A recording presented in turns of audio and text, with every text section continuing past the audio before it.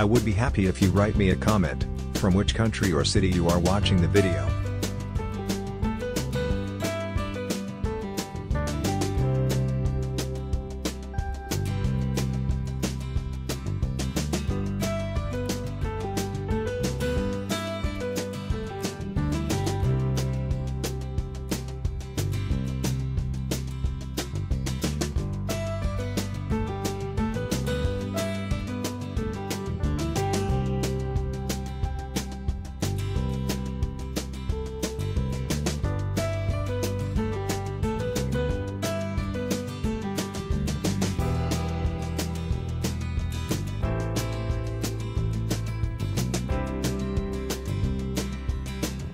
If you have a great recipe, please let me know in the comments.